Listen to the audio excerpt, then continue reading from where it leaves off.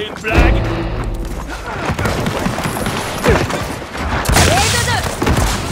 Prends ça.